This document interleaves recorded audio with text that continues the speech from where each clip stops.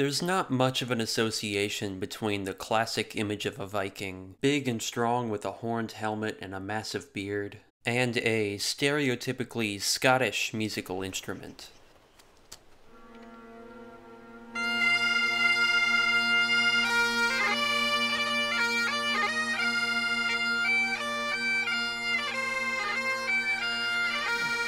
What I'm trying to say is, when you think of Vikings, you probably don't think of bagpipes. So why are there bagpipes in How to Train Your Dragon, a series about Vikings and dragons? I mean, these Vikings are Scottish, but they're still Vikings. Morning!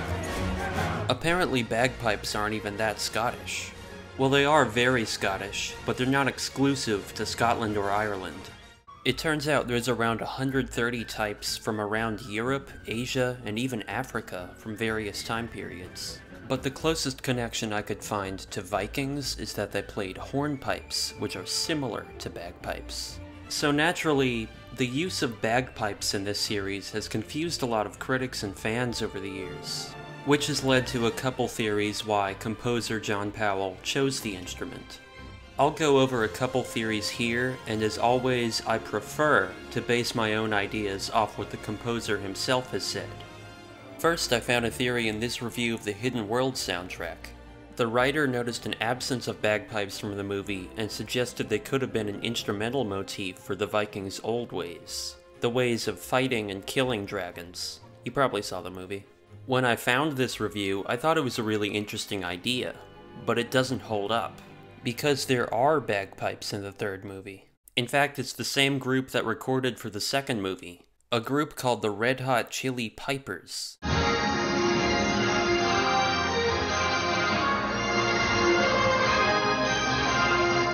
The second theory comes from the music YouTuber Sideways.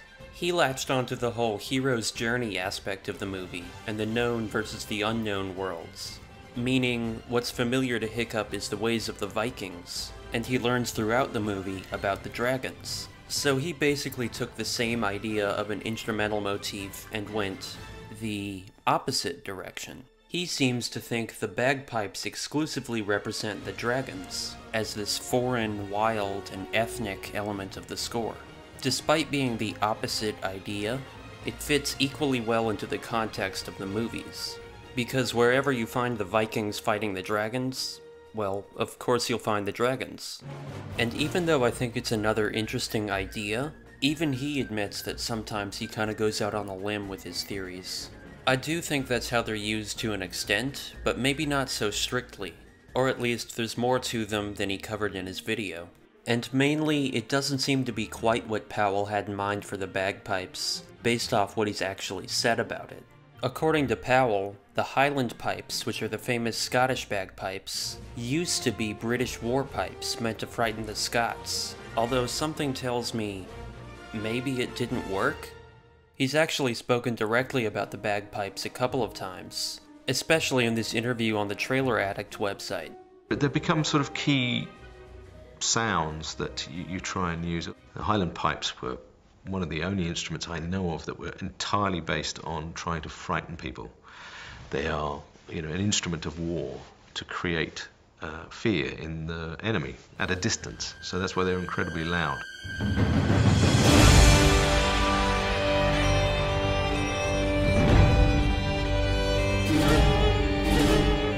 They're also pretty restrictive instruments. They can't play spaces between the notes, and they're pretty fixed at a rather loud volume. This information comes from musicologist John Powell. These are two different people. One of them has a PhD in physics. So there are two different John Powells from London who have taken the time to explain the history and usage of bagpipes. That's interesting. Anyway, they can be partially restrained with a mute, like other wind instruments, or in the case of How to Train Your Dragon, they can be recorded separately and edited in the mix, so they can be made softer. Sometimes it can even be difficult to notice them, or to be sure if they play in that cue. Like in Test Drive, they're not written into the score sheets, but they do play the melody with the woodwinds and violins.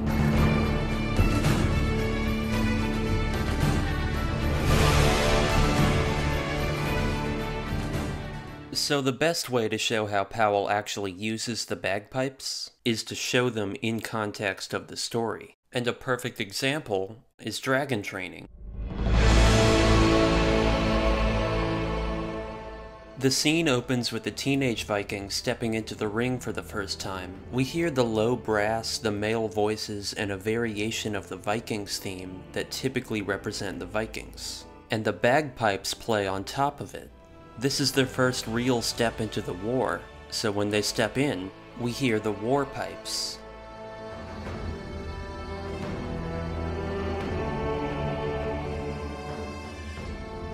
This is a huge part of their culture and tradition.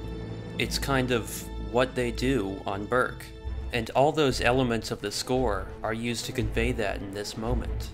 Once the dragon is let loose, the bagpipes lose all their subtlety. They become much louder and more aggressive.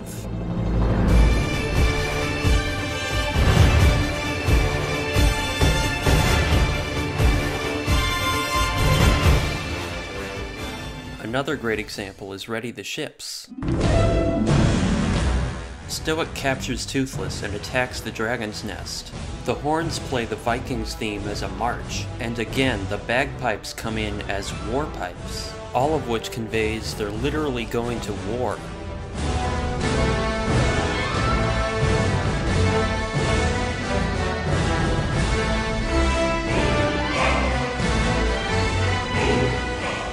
But if you know this music well, you might already know that the pipes don't always play aggressively. They don't always correlate with war, violence, or fear. Sometimes they play more peacefully, or even joyfully, and there are easily plenty of examples throughout the series.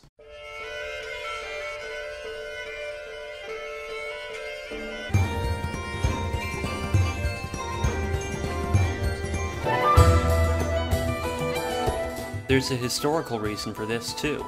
But then, somewhere along the lines, musicians being musicians have turned them into actually a very joyful instrument. The fun thing on the first movie was that I was using pipes in a very celebratory way.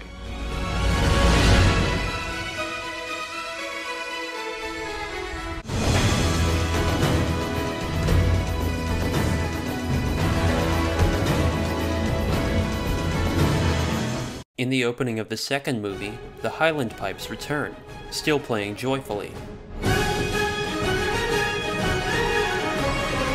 And for the first time in the series, Uilleann pipes are introduced, which are Irish bagpipes meant for playing indoors. Those Uilleann pipes are introduced here, in what sounds almost like a guitar solo. It's also pretty fun that these instruments of war play in this friendly but aggressive competition.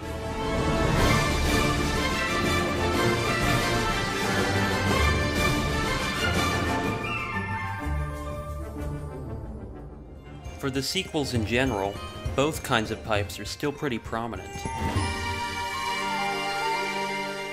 I think you can even hear them when they sing for the dancing and the dreaming.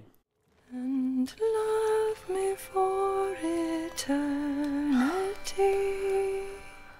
However, there is a turning point in the second movie, where the pipes play just as they were originally intended to.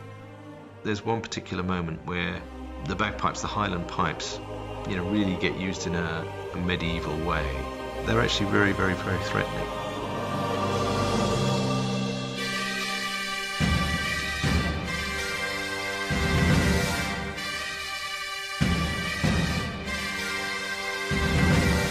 In a way, the bagpipes kind of musically match Drago's war cry here. And the Uilleann pipes join in right when he starts hypnotizing Toothless.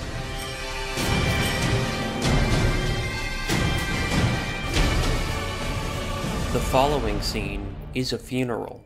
Stoic was always a warrior, and he died on the battlefield. And bagpipes traditionally play at the funerals for police officers, soldiers, and fallen heroes in general.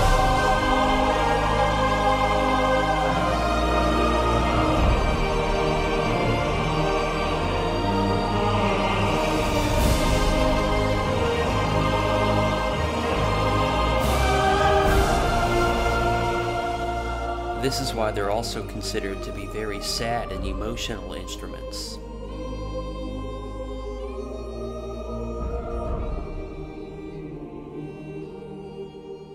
There's one more reason for why Powell chose bagpipes. I think it's really a passion of his. Let me explain. If you didn't already know, he really is the perfect choice of a composer for this series. He loves animation, he was asked to write a very thematic score, which is his favorite music to write and what he's probably best at. He grew up listening to Scottish and Celtic folk music, and he loves exoticism and interesting and ethnic sounds. I think this is the main reason for the bagpipes and the Irish drums, the slate marimbas in Forbidden Friendship, the reason for the Celtic harp in the second and third movies.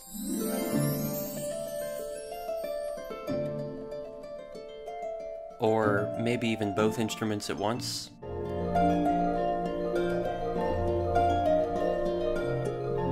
Now, obviously, he's not the only composer to use instruments from outside the conventional orchestra. But it's something he loves, and it's definitely a strong part of his signature that you can find in pretty much everything he's done. A lot more than I'm actually going to go into detail with here, but just to name a few. He used vuvuzelas, these horns that crowds play at South African soccer games, in a Star Wars movie. He's known for his use of percussion, like the big drums in Test Drive. So when he did the movie Drumline, he fell in love with the drum lines of American universities. And he's incorporated that sound into a few of his movies since then. In How to Train Your Dragon, you can hear it in See You Tomorrow and in the end credits.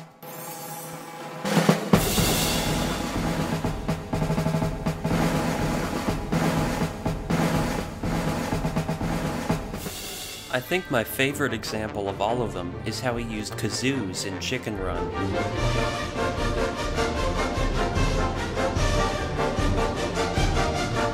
And I just found out there's a few seconds of bagpipe in Chicken Run? This looks pretty weird without context.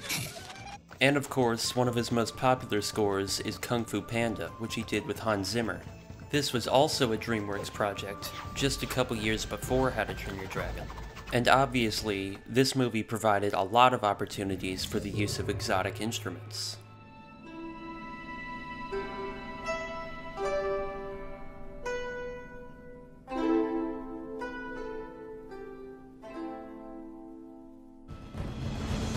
I find that he really just treats the exotic instruments as another part of the orchestra. Sometimes they get solos, and sometimes they play with everyone else. And they're pretty much always there in some form for his projects. As for the bagpipes, they play in a very wide variety of situations, and they bring out a wide variety of emotions. Although they're not very historically accurate to Vikings, they still add a lot of power and joy to the score. And of course, it acts as a unique musical trademark for both John Powell and the score itself.